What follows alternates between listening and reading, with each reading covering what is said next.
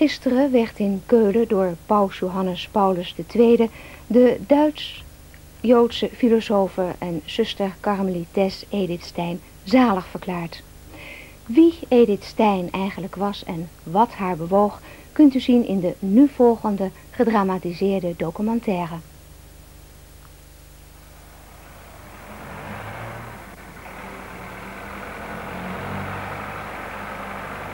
Heiland selbst hat bei verschiedenen Gelegenheiten und in verschiedenem Sinn vom Kreuz gesprochen.